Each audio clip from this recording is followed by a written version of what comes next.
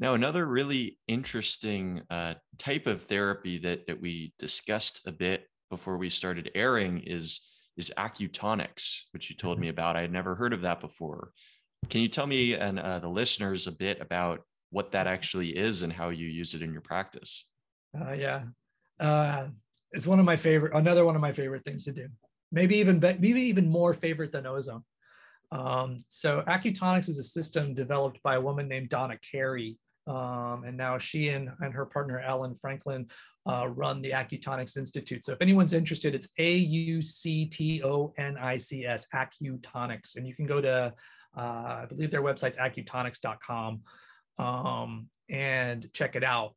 And it is an entire system of sound healing that is based upon the principles of Chinese medicine combined with planetary archetypes. So we have a set of tuning forks and chimes and gongs that are based on planetary frequencies. So we have a fork for Mercury, we have a fork for Mars and Venus and the Earth uh, day rotation. We also have one for for all the planets, okay, as well as some of the asteroids, okay, because there's asteroids influences, and um, the way that the frequencies came about was based on the theory of the music of the spheres. Are you familiar with that? I am not. No. So, way back when, you know, um, there's this idea that the planets, as they rotate around. Now, of course, this was back in way back in the day when we thought the planets were rotating around us that you know there that they actually made a noise okay so like they made a sound as they went by okay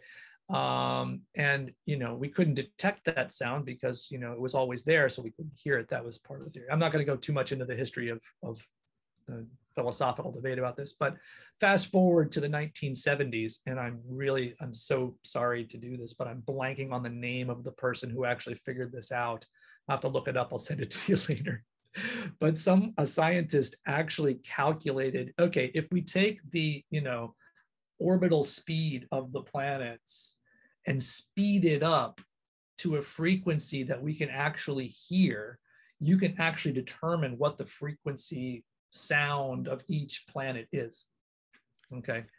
So that then becomes the frequency of venus. That becomes the frequency of um, jupiter et cetera. It's based on their orbital speeds Okay, and we've done this for all these things. And um, in Chinese medicine, there's a concept of what we call ling. Um, and ling basically it has to do with the crystallization of the life's path from the spirit world coming down to the material. It also invokes the idea of liminal space. So the space between spaces, the space between consciousness and unconsciousness, the space between physical matter and spiritual matter or your, your, your, your physical body and your spirit body. And part of the um, beauty of, of working in this space is that you can help people to make shifts in their perceptions and make shifts in you know their their spiritual path in ways that you know traditional treatments really don't address on top of that, we use it to treat the physical symptoms. So just like I can use acupuncture needles, say, oh, my shoulder hurts, no problem. I've got, you know, tuning forks that I can use up here on those same acupuncture points that are going to help your shoulder or your back or your neck. I've got a headache. I've got digestive problems. You know, these physical symptoms, we use the same principles with the forks to actually um, relieve those symptoms.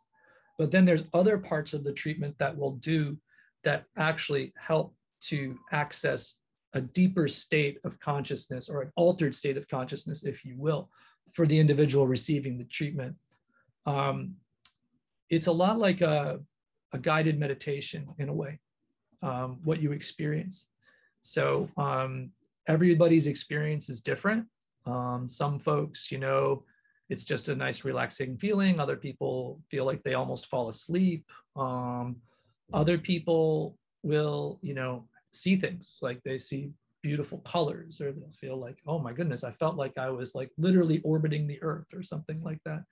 And you know it's usually these beautiful nice experiences you know? And for folks who are you know particularly used to meditation or you know folks who used any entheogens, um, they'll often relate it to some of those entheogenic experiences too.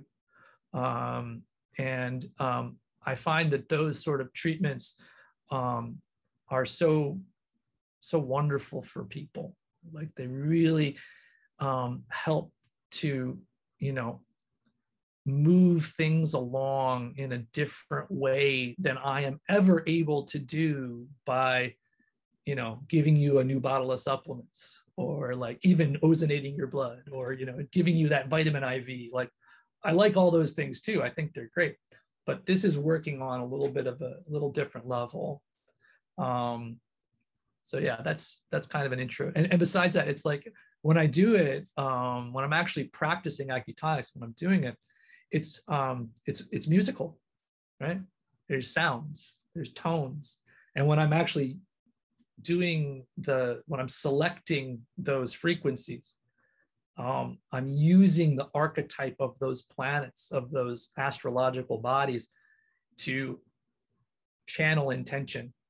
So like let's say i want to help you to you know balance out some inflammation in your body. There's a easy one. So you want to have, you know, inflammation in some ways is a good thing, right? You need to like, you know, get rid of viruses and bacteria, and we need to, you know, inflammation is part of joint healing, but you don't want it to be too fiery. You don't want it to be too hot. You want to back it off a little bit. So we might use something like Mars, which is, you know, fiery and hot and associated with inflammation. But if I want to cool it off a little bit, who is the goddess that could calm Mars down? The only one who could reason with Mars was Venus. Yes, you know. Okay, good. You know your Greek myth. Excellent. It's all based, it's all like you know, Greek and Roman myth is what it's based on. So that's part of the fun. It's like you get to relearn all your mythology, which I love. I, I find it the stories of Greek myth are still so profound.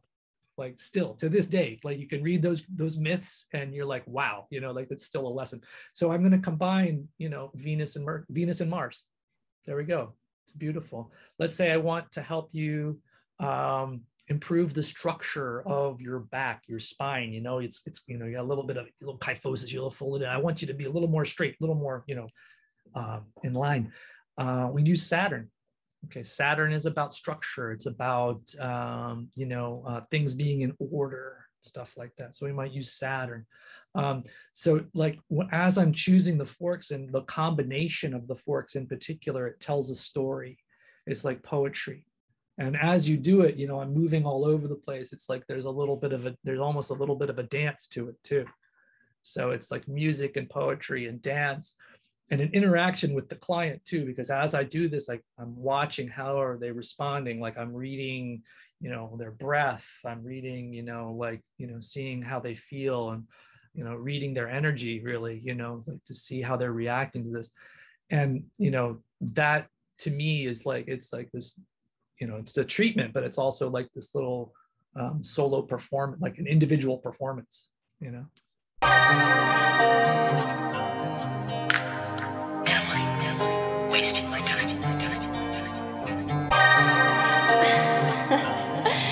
You just can't help yourself can you